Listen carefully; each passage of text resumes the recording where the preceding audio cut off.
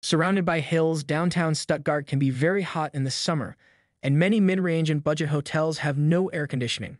An excellent U-Bahn and tram system makes getting around easy from any location, so hotels on the hills can be more comfortable after a summer day's sightseeing. Although Stuttgart, capital of the state of Baden-Württemberg in southern Germany, is widely known as a leading commercial center and home of two major automobile manufacturers, it is also one of Germany's most appealing cities for tourists a pair of outstanding art museums, two state-of-the-art automobile museums, one of Europe's top zoos, sumptuous palaces, and one of Germany's largest Christmas markets draw visitors year-round. Architectural landmarks represent Baroque, Art Nouveau, Modernist, and contemporary styles. Stuttgart sits in a bowl-like terrain almost completely surrounded by steep hills that are covered in forests and vines. The green that frames the city spills into broad parks and gardens that give its center a spacious feel. A city is easy for tourists to reach and to tour. The excellent S-Bahn system is easy to use and connects the city center to the airport and outlying attractions. Stuttgart's main train station is a five-minute walk from the Schlossplatz, around which you'll find several of the city's major tourist attractions and its main shopping streets. Discover the best places to visit with our video of the top tourist attractions and things to do in and around Stuttgart. Number 1. Schlossplatz. The expansive Schlossplatz is the focal point of the city. Surrounded by buildings dating from Stuttgart's past as a ducal and royal capital, this vast open space is well used. Its green lawns and benches are popular places to catch some sun, and its gardens are pleasant places to stroll in good weather. In November, the square becomes a children's Christmas market with a miniature village, holiday rides, and a skating rink. The Jubilee column, erected at its center in 1841, commemorates King William I's 25 years of rule. Here, too, you'll find a cast iron bandstand, a fountain, and pieces of modern sculpture by Calder, Hrdlicka, and Hajek. Dominating one side of the Schlossplatz is the massive Neues Schloss or New Palace. Built in late Baroque style and completed in 1807, the palace, once home to former kings, is now used by the state government. Number 2. Ludwigsburg Palace. The vast and lavishly decorated Ludwigsburg Palace is one of Germany's largest and loveliest Baroque palaces. In decorating his private apartments here, Duke Karl Eugen of Württemberg spared no expense, commissioning the great fresco painter Matthias Gundler to decorate the walls and papering even dressing rooms with hand-painted wall coverings.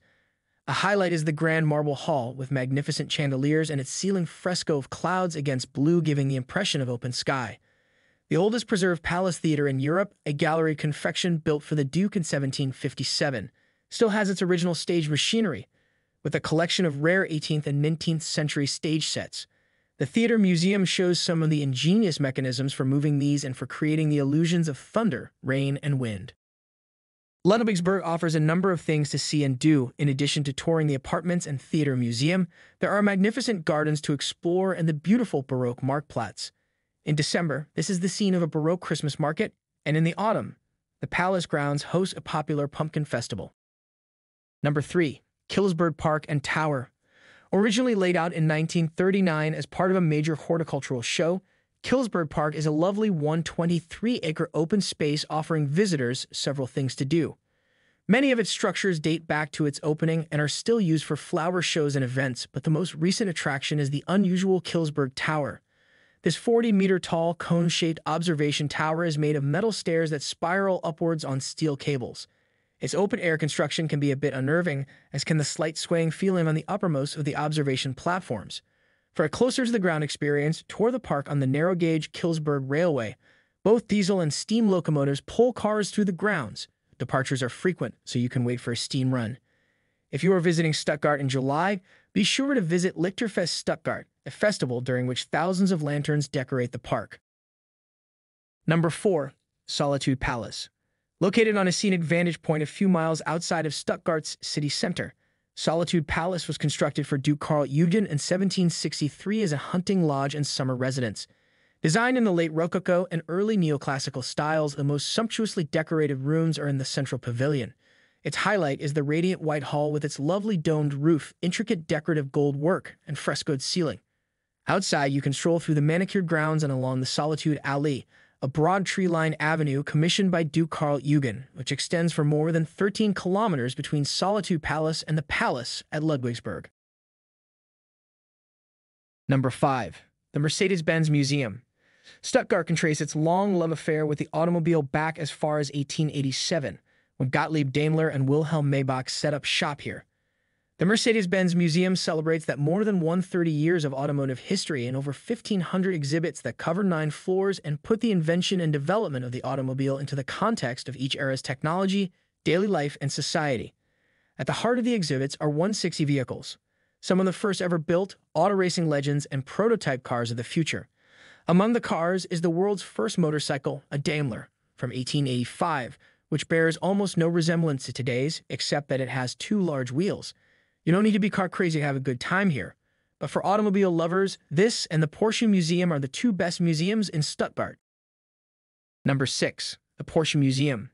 The dynamic architecture of the building Delugan Meissl designed for the Porsche Museum, supported on a trio of V-shaped columns, is intended to portray the nature of the brand itself. Inside, you can follow the development of Porsche vehicles through exhibits and the 80-plus vehicles on display. Audio guides in English highlight themes, such as the Porsche DNA that lives on in every model since the first. The most popular part of the museum, even for those with little interest in automobiles and racing, is the interactive 12-meter Porsche touch wall, where you can use touch frames to browse through more than 3,000 drawings, photos, posters, and advertisements from the vast historical archive. In the interactive Porsche in the mixed sound installation unique in the world, you can play sounds of engines, horns, and brakes of various models throughout the years and mix them into an original music track. After composing your own piece of Porsche music, you can send it to yourself via email. Number 7. Fernsehturm Stuttgart. The world's first television tower would be interesting enough, but the 217-meter-tall Fernsehturm Stuttgart has the added attraction of an observation deck and restaurant, with sweeping views that reach across the city and Neckar Valley into the Swabian countryside, as far as the Black Forest and the Odenwald. The tower opened in 1956 and soon became a prototype for such structures as far away as Johannesburg and Wuhan, China.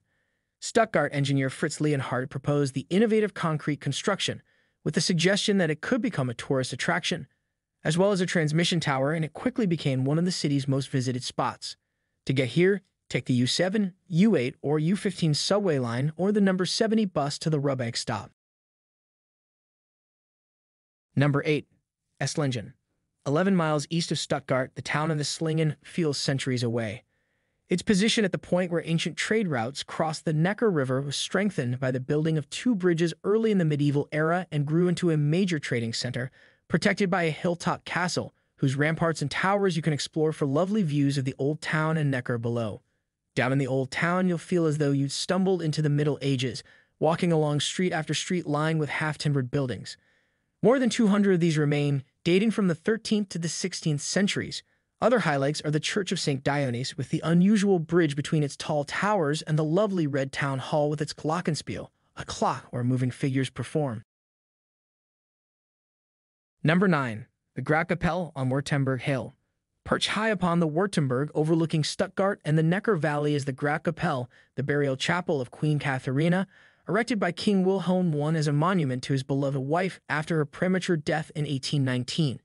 Constructed between 1820 and 1824, this beautiful structure consists of a domed rotunda in neoclassical style inspired by the Pantheon in Rome. It is considered the most romantic spot in Stuttgart, in part because of its beautiful setting, but mainly because of Wilhelm's inscription above the entrance to the chapel, Love Never Dies, in memory of his lost queen. Number 10. Christmas Market. Germany is known for its Christmas markets, and one of the largest and best is in Stuttgart, with more than 280 vendors set up in rustic log cabins filling Marktplatz and Schillerplatz and lining the streets and squares between them. Each cabin is decorated with evergreen boughs and twinkling lights, and their roofs are topped with elaborate holiday scenes and motifs. There's a lively competition for the prize as each year's best. Vendors display an eye-boggling assortment of beautiful handmade gifts, wooden toys, pottery, intricate ceramic houses, embroidery, puppets, knitted mittens and socks, felted hats, and holiday decorations of all sorts. Food is everywhere. Sizzling sausages, spicy cookies, marzipan, chocolate, and roasting chestnuts. An entire side of Schlossplatz is devoted to children, with a carousel and a Ferris wheel with cars like giant Christmas tree balls. They can ride a miniature train through a doll-sized town, ice skate, or make their own Christmas presents and cookies at kids-only booths. Special events seem to be happening all the time. The colorfully costumed band marches by, and the old castle courtyard rings with a choral concert. The market opens in late November and continues through December 23. Number 11. Wilhelma Zoological and Botanic Garden. Today, one of Germany's largest zoos with more than 2 million annual visitors, Wilhelma Zoological and Botanic Garden was created as a private royal retreat for the Swabian King Wilhelm I. The buildings were constructed in the neo-Moorish style, which was popular among European royalty in the mid-19th century, and set among gardens in a large green park. Among the many things that make this zoo and botanic garden so outstanding is the way the fanciful historic buildings have been repurposed as the setting for animals and plants, and how these two have been integrated. For example, the Moorish villa is now home to a combined animal and plant house, and a pavilion that was once the king's vantage point overlooking the Neckar River is now the main entrance. The Belvedere Pavilion above the subtropics terraces and the Damascene Hall are still in use, as is the covered walkway lined with decorative terracotta. A state-of-the-art complex for African apes was added in 2013, especially to accommodate the needs of gorillas and bonobos, only two of the nearly 1,200 species represented here. Each of these, as well as the 8,500 plant varieties, is shown in a specific house or enclosure representing its native geography or environment. These include the House for Animals of Prey, the Tropics House, the South America Enclosure, and the House for Tree Ferns. Although it's one of the most popular things to do in Stuttgart with children, this park and zoo is appealing to all ages. Number 12. Altes Schloss and Landesmuseum. Overlooking one side of Schlossplatz is massive Altes Schloss or Old Castle. There is no trace of its 10th century origins. The existing building with its beautiful courtyard surrounded with multiple arcades was built between 1553 and 78. The impressive structure now houses the Württemberg Landesmuseum with its fascinating collections of medieval art, musical instruments, watches, and clocks, as well as the magnificent Württemberg Royal Crown and Crown Jewels. Especially interesting are the archaeological collections with rare artifacts tracing prehistoric inhabitants of the caves in the Swabian Mountains, including the world's oldest human artworks. Later Celtic, Roman, and medieval pieces include rich grave finds of weapons and jewelry. The modern glass collection is among the best in Europe, and a superb costume and textile collection focuses on 18th century European decorative fabrics and textiles from the Art Nouveau period. In the south wing is the 16th century palace church, with tombs of famous former residents and royalty. Number 13. Drive the Black Forest High Road. One of the most beautiful drives in Germany is along the 44 miles Schwarzwald-Hochstrasse Black Forest High Road.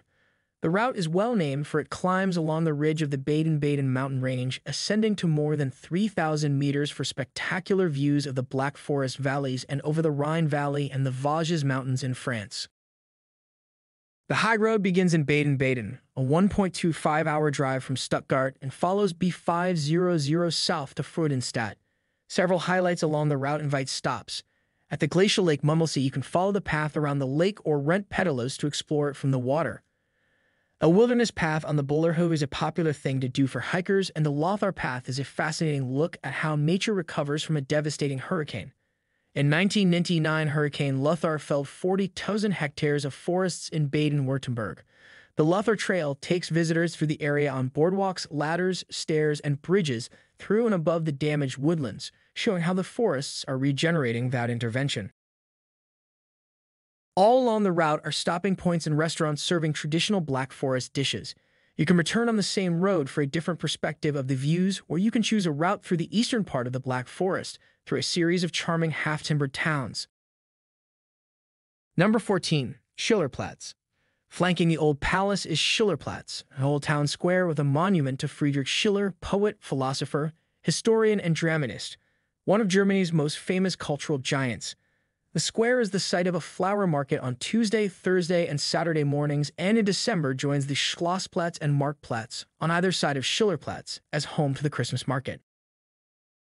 One side of the square is formed by the Altkanzlei, and on the southwest side is the old Fruchtkasten dating from 1390, and adjoining it, the choir of the Stiftskirche.